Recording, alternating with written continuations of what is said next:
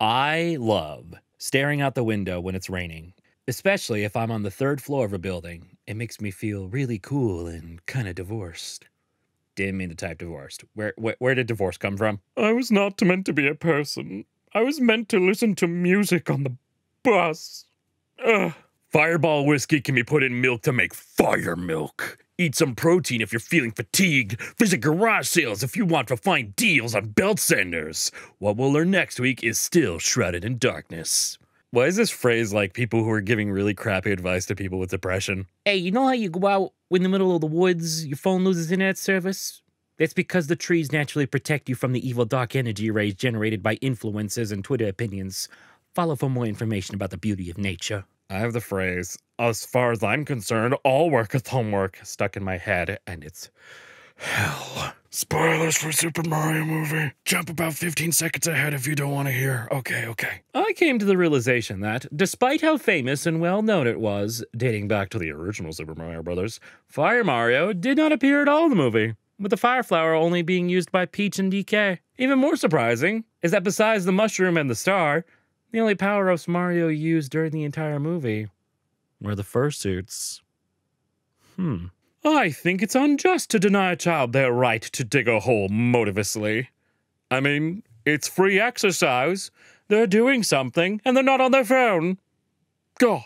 The moral of Deltarune is that there are weird guys in the basement. Have fun. Long, wet hair is heavy. Item 28X, the Immortal Pupper. Probably really bad item idea. The Immortal Pupper, a legendary wondrous item, a small wooden figure in the shape of a dog. When the activation word is said, it transforms into a living puppy that lives for up to a regular dog of the same kind's lifespan. The breed of dog is dependent on the type of wood. The bigger the bark, the tougher the dog. When the dog eventually passes, it reverts into a wooden figure again and becomes non magical for one year. When that one year is up, the figure is magical again, and turning it into a real dog again will keep the memories of its last form. This is a really, really good item, actually. I'm going to give this to one of my players as a legendary item. No joke. This will make us here. Now, if you excuse me, I have to pause recording to go cry. Okay, I'm back. Oh, he's literally sleeping on the barbecue sauce. Goals, man. Goals. Five nights at Boobies. Come on, man.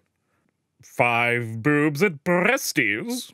Mm-hmm. Free range, grass fed, certified organic no meat. I'm sorry, what'd you say? Apparently, this is how zoologists weigh tiny birds. This really needed to be on this blog. This is horribly undignified. I demand a lawyer. Shout out to boring queer people who don't do shit. Just go to work or school and then come home to watch shows.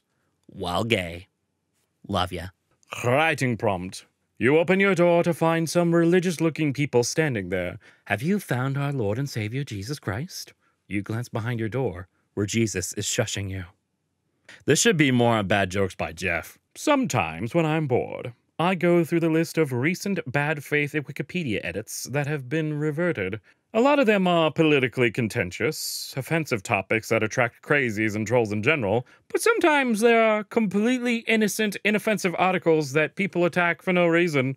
Some guy yesterday vandalized the article of the chemical element francium. Francium is a stupid element. Hmm, take that, francium. They should invent a girl with no headaches. Oh, if only. A train could easily kill me if it became sentient.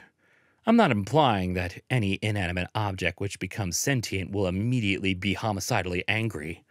I'm simply stating a fact. You know, a train could easily kill you sentient or not. Just, just, just saying.